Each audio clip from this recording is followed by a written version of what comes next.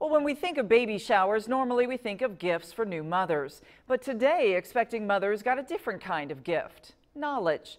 Expecting Moms attended a baby shower designed to teach moms how to combat infant mortality.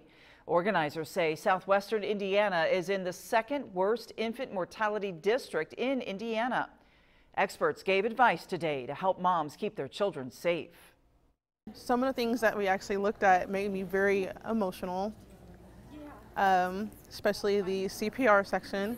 I hope to, that there be more things like this for other, you know, mothers out there.